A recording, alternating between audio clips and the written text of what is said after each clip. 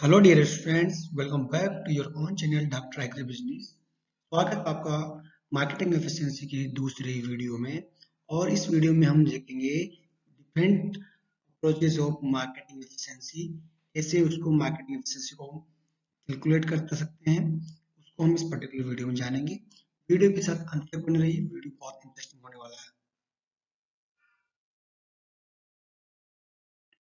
यहाँ पे सबसे पहले हम देखते हैं कि जो तीन तरह की अप्रोचेज हमने लास्ट वीडियो में डिस्कस किए थे। कन्वेंशनल मेथड है सेफर्ड मेथड है, और आपका आचार्य मेथड है सबसे पहले हम बात करेंगे फ़र्स्ट अप्रोच की that is conventional method conventional method जो है वो ट्रेडिशनल इन नेचर है कन्वेंशनल इन नेचर है। और इसमें सिंपली हम जो है मार्केटिंग रेशियो की बात करते हैं।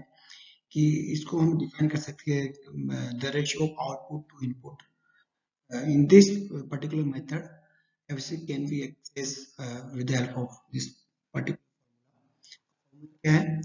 फॉर्मूला है आपका ये M E O divided by I multiply by hundred hundred क्यों लिखा? क्योंकि एफिशिएंसी को हम को एक्सप्रेस करते हैं परसेंटेज uh, में. तो उसको उसको मल्टीप्लाई करते हैं हंड्रेड से. यहाँ पे ओ क्या वो है, वो डिनोट करता है मार्केट आउटपुट वैल्यू एडिशन भी बोलते हैं।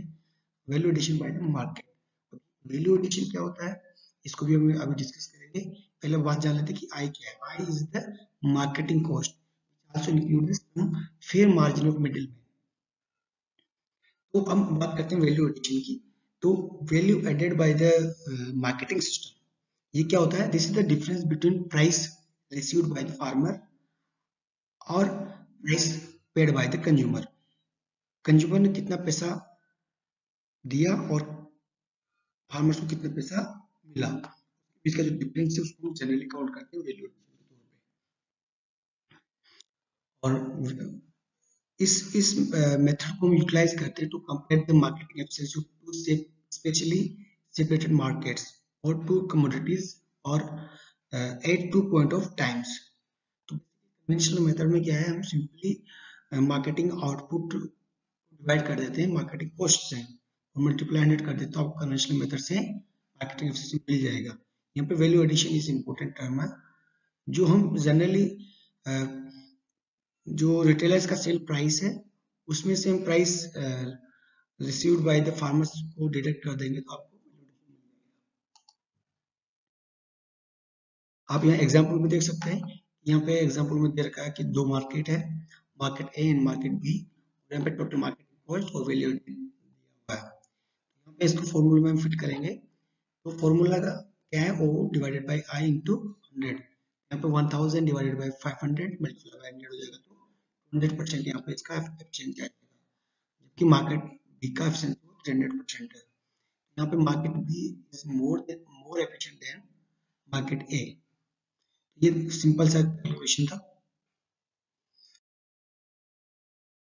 बात करते हैं सेफर्ड मेथड का। सेफर्ड मेथड में क्या है इसमें जो सेफर्ड साहब है, उन्होंने बोला कि द रेशियो तो ठीक है अपनी जगह, लेकिन इसमें जो वैल्यू होगी, वो होगी total value of goods marketed to the marketing cost तो यहाँ पे रिटेलर सेल प्राइस को उन्होंने बेस माना है कि रिटेलर सेल प्राइस के आधार पे हम मार्केटिंग एफिशिएंसी निकालेंगे।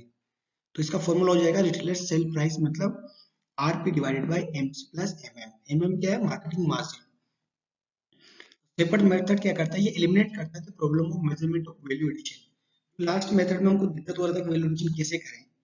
वैल्यू एडिशन करना कोई सिंपल काम नहीं है। कितना एग्जैक्ट अमाउंट वो वैल्यू एड कर रहा है कि नहीं कर रहा है? उससे ज़्यादा एक्सेस प्रॉफिट वो मार्जिन ले रहा है? मार्केटिंग सिस्टम या मार्केटिंग मिडल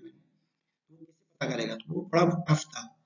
उस टफ कंपोनेंट को निकाल के उसको इजी बनाने का काम इस पर्टिकुलर सेफर मेथड में किया गया है। तो यहाँ पे रिटेलर सेल प्राइस को ज़्यादा वेटेज दिया गया है और इसको भी जो है क्रिटिसाइज किया गया है कि भाई रिटेलर सेल प्राइस को क्यों? Net price receive by farmers क्यों नहीं। फार्मर्स प्राइस को क्यों जो है बेस्ट नहीं माना गया? तो जो है नेक्स्ट मेथड में हम समझेंगे। उससे पहले सिक्वेंट मेथड के हिसाब से एक एग्जांपल हम देख लेते हैं, कैसे कैलकुलेट किया जाता है मार्केट एफिशिएंसी यहाँ पे जो डेटा दिया हुआ है चैनल वन और चैनल टू के डेटा दिए हुए हैं। यहाँ पे डिफरेंट डेटा दिए हुए हैं, जैसे marketing cost producer by marketing margin of contractor marketing cost retailer marketing margin of retailer यहाँ पे टोटल कॉस्ट मार्जिन को यहाँ पे कैलकुलेट कर लिया गया है। यहाँ टोटल कॉस्ट और मार्जिन जो है चैनल ए के केस में तेईस हो जाएगा two hundred two thousand three hundred और चैनल टू के केस में अठारह हो जाएगा एटीन हंड्रेड इसका टोटल कॉस्ट मार्जिन हो जाएगा। तो अभी हमको जो है रिटेलर सेल प्राइस भी दिया हुआ है forty forty two hundred four thousand two उसका रिटेलर सेल प्राइस तो मार्केट एफिशिएंसी निकालना बहुत आसान है। आपने फॉर्मूला जाना फॉर्मूला कहता है retailer sale price divided by the marketing cost plus marketing margin जो कि हमने यहाँ पे सिंपली दिया हुआ है ये। टोटल कॉस्ट और मार्जिन यहाँ पे एक जगह दे दिया है तो 200 डिवाइडेड बाय 2200 2300 हो जाएगा तो ये आपको 1.83 इसका रेशियो आ जाएगा, और यहाँ पे भी जो है 2.33 रेशियो हो जाएगा। तो दोनों चैनल में कौन सा ज़्यादा एफिशिएंट है? चैनल टू ज़्यादा एफिशिएंट है। इस तरीके से मार्केटिंग एफिशिएंसी निकालते हैं सेफर्ड मेथड के द्वारा। बात करते हैं कि जो सेफर्ड मेथड में भी कमी निकाला था कि क्यों ना, जो फार्मर्स का प्राइस को बेस माना जाए फार्मर्स को एक्चुअल में क्या मिल रहा है, उसके आधार पर हमें एफिशिएंसी निकाला जाए, ताकि रियल एफिशिएंसी को पता चले तो आचार्य एस एस आचार्य जी ने उन पे एक फॉर्मूला दिया जिसको हम मॉडिफाइड मार्केटिंग एफिशिएंसी भी बोलते हैं। मॉडिफाइड मार्केटिंग एफिशिएंसी का फॉर्मूला क्या है? उन्होंने बोला कि भाई तीन चीज़ों, चार चीज़ों का जो है इम्पोर्टेंट रोल होता है मार्केटिंग एफिशिएंसी याद करने के लिए। होता है total cost total marketing cost total marketing margin price received by farmers और प्राइस पेड बाय कंज्यूमर उन्होंने इसके आधार पर एक नया फॉर्मूला दिया जिसको बोलते हैं P F P divided by M C plus M M जो कि हमने ऑलरेडी डिस्कस किया है। अब बात करते हैं कि कैसे कैलकुलेट करते हैं। तो यहाँ पे एक डेटा दिया हुआ है। जहाँ और डेटा के साथ हम यहाँ पे तीनों मेथड से एक साथ जो है मार्केट एफिशिएंसी निकालते हैं। तो तीनों मेथड के फॉर्मूला हमको पता है और यहाँ पे डेटा दिया हुआ है। तो कन्वेंशनल मेथड के केस में जो है, आप देखेंगे कि उसका फॉर्मूला था ओ बाई आई तो यहाँ पे ओ जाएगा वैल्यूडेशन जो कि ये ये आपका हो गया। और उसके बाद में जो है, जो उसका हो जाएगा मार्केटिंग कॉस्ट यहाँ पे दिया हुआ है। मार्केटिंग कॉस्ट में जो है दोनों आपका हो जाएगा। तो इस तरह से जो है ये आपका सिंपल जो मेथड है कन्वेंशनल मेथड उसे निकाल लेते हैं। सिंपल मेथड में क्या करते हैं? सिंपल मेथड का फॉर्मूला है retailer sale price. Retailer sale price 1000 divided by MC plus MM divided by MC plus MM ये जो है, ये 300 प्लस 200 आपका 3.33 एफिशिएंसी इसी प्रकार से तीनों मार्केट का निकाल लेंगे। और तीनों मार्केट के आधार पर हम बोल सकते हैं कन्वेंशनल मेथड के हिसाब से जो है मार्केट सी ज़्यादा एफिशिएंट है। लेकिन सेफर्ड मेथड के हिसाब से मार्केट ए ज़्यादा एफिशिएंट है और आचार्य मेथड के हिसाब से भी मार्केट ए ज़्यादा एफिशिएंट है। तो यहाँ पे भी हम सिंपली जो है फार्मर्स आचार्य मेथड में है फार्मर्स का जो प्राइस है या नेट प्राइस बाय फार्मर उसको बेस मान के मार्केट एफिशिएंसी कैलकुलेट कर लेते हैं। अब यहाँ पे कुछ न्यूमेरिकल कर लेते हैं इसका। न्यूमेरिकल करने से पहले कुछ बेसिक टर्म समझ लेते हैं, क्या होता है। मार्केटिंग चैनल क्या होता है? हमें ये रूट होता है जिसके थ्रू प्रोडक्ट जो है अल्टीमेट कंज्यूमर के पास पहुँचता है। मार्केटिंग कॉस्ट क्या होता है? मार्केटिंग कॉस्ट होता है cost bear by the producer और cost bear by the different middle man उसको जोड़ लेंगे तो आपका मार्केटिंग कॉस्ट आ जाएगा। आप यहाँ देख सकते हैं। मार्केटिंग मिडिल मैन आपको क्या चाहिए? मार्केट मार्जिन मार्केट मार्जिन क्या होता है? This is simply difference between price paid and receive by the market intermediaries such as a single retailer और any type of marketing agency such as retailer similar any combination of marketing agencies marketing system as a whole और marketing margin को calculate कैसे करते हैं? Simple है. बहुत simple है. Selling prices minus purchase price of middleman करेंगे, आपको मार्केट मार्जिन निकल गया ठीक है? उसके बाद में प्राइस स्प्रेड का इंपॉर्टेंट कॉन्सेप्ट है, ये कंसेप्ट जनरली एग्ज़ाम में पूछा भी जाता है। प्राइस स्प्रेड क्या होता है? Difference between the price paid by the consumer and net price received by the farmers for an equivalent quantity of output. तो यहाँ पे जो है पीसी माइनस पीएफ कर देंगे तो ये आपका निकल के आ जाएगा।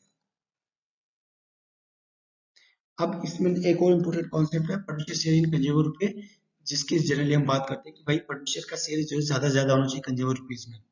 इसको कैसे कैलकुलेट करते हैं? Net price received by the producer divided by price paid by the consumer multiply by 100 कर देंगे तो आपका परसेंटेज शेयर आ जाएगा in consumer rupees market efficiency अपने ऑलरेडी देखा है। तो ये इसका फॉर्मूला हो गया मार्केट एफिशिएंसी का जो मैंने ऑलरेडी पीछे बता दिया है। यहाँ पे हम देख लेते हैं एक प्रॉब्लम एक प्रॉब्लम दिया हुआ है कि मार्केटिंग ऑफ़ ग्राउंड का डाटा है और उसमें अलग अलग डेटा आपको दिया हुआ है कि producer sale price to wholesaler दिया हुआ है कि भाई जो प्रोड्यूसर जो किसान है वो होलसेलर को बेचता है at the rate of eleven hundred nineteen rupees point forty eight पैसा इसमें वो उसको बेचता है बाद में जो होलसेलर है, वो खर्चा करता है जिसको मार्केटिंग कॉस्ट बोलते हैं। होलसेलर का मार्केटिंग कॉस्ट मालूम करने के लिए ये जो खर्चा किया इसको जोड़ लेंगे तो ये होलसेलर का मार्केटिंग कॉस्ट आ जाएगा। इसका भी ज़रूरत बाद में पड़ेगा। तो इसलिए पता होना चाहिए मार्केटिंग कॉस्ट ऑफ़ होलसेलर ये हो जाएगी, इसको टोटल करेंगे तो ठीक है? उसके बाद में होलसेलर जो है, उसको डिकोटिकेटिंग यूनिट को बेच देता है। डिकोटिकेटिंग यूनिट कौन कौन सी होती है? मूंगफली के ऊपर का जो छिलका होता है, उसको छिलने का जो यूनिट होता है, उसको बोलते हैं डिकोटिकेटिंग यूनिट तो उसको बेच देता है होलसेलर किस रेट से? बारह सौ पैसे के रेट से उसको बेच देता है। वो भी कुछ खर्चा करता है और खर्चा करके वो बेच देता है ऑयल मिल को। ऑयल मिलर को बेच देता है इस रेट से, बारह सौ सत्तानवे पॉइंट पैंतीस पैसे के रेट से बोलते हैं। उससे पहले वो भी कुछ खर्चा करता है मार्केटिंग डिकोटिकेटिंग यूनिट का हो जाएगा, ये वाला। इसको हम काउंट करेंगे तो ये आपका मार्केटिंग ये हो जाएगा। उसके बाद उसने दे रखा है कि कुछ बोन बाई मिलर मिलर कुछ खर्चा करता है और फिर वो बेच देता है रिटेलर्स को। तो उसका खर्चा यहाँ पे टोटल कर लेंगे तो उसका मार्केटिंग कॉस्ट ऑफ़ रिटेलर आ जाएगा और ऑयल मिलर आ जाएगा। अब रिटेलर लेट खरीद लेता है तेरह सौ के रेट पे, तेरह सौ के रेट पे और रिटेलर बेचता है उसको चौदह सौ के रेट पे। उससे पहले वो भी कुछ खर्चा करता है यहाँ पे। तेरह रुपए का वो खर्चा करता है। सब डेटा दिया हुआ रहेगा, आपको दिया हुआ है।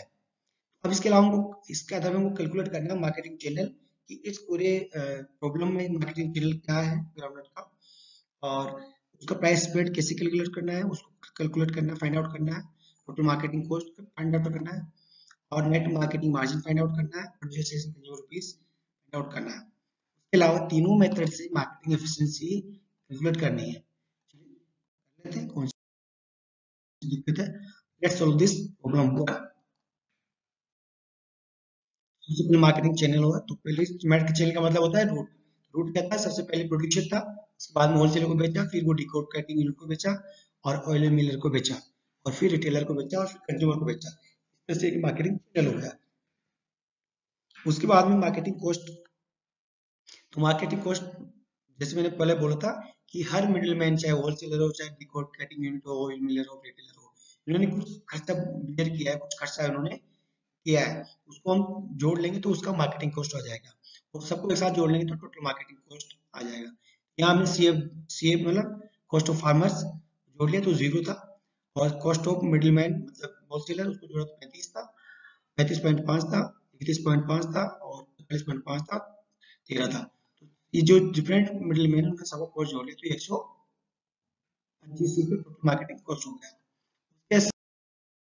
अलावा आपको मार्केटिंग मार्जिन फाइंड आउट करना था। मार्केट मार्जिन का फॉर्मूला हमने देखा है selling price minus purchase price of ith middle man तो ये हमने सबका मिडिल मैन का मार्केट मार्जिन निकाल लिया, जैसे होलसेलर ने खरीदा था अड़तालीस पैसे लेकिन बेचा कितना? बारह सौ पच्चीस पैसे में। तो उसको एक सौ छह रुपए का फ़ायदा हुआ उसका मार्केटिंग मार्जिन जो है एक सौ छह रुपए का हुआ।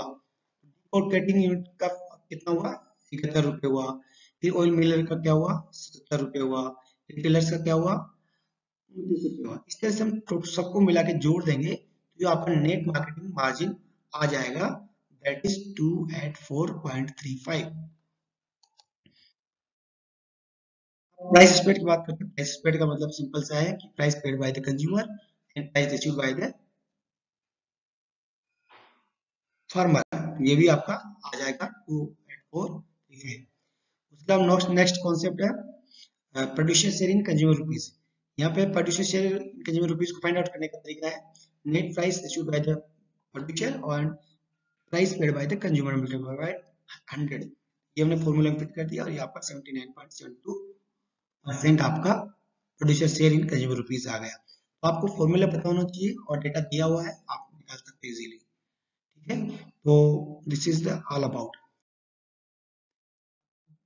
market efficiency निकाल लेते हैं मार्केट एफिशिएंसी निकालने के लिए आपको कन्वेंशनल मेथड सेफर्ड मेथड और आचार्य मेथड के फॉर्मूले पता होना चाहिए।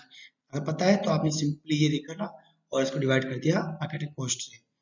फिर आपने सेफर्ड मेथड से निकाला और उसको डिवाइड कर दिया मार्केटिंग कॉस्ट मार्केटिंग मार्जिन से। फिर आचार्य मेथड से आपने निकाला कि फार्मर्स प्राइस जो है उससे निकाला। उसके बाद में जो है आपका जो मार्केटिंग कॉस्ट और मार्केटिंग मार्जिन से डिवाइड कर दिया।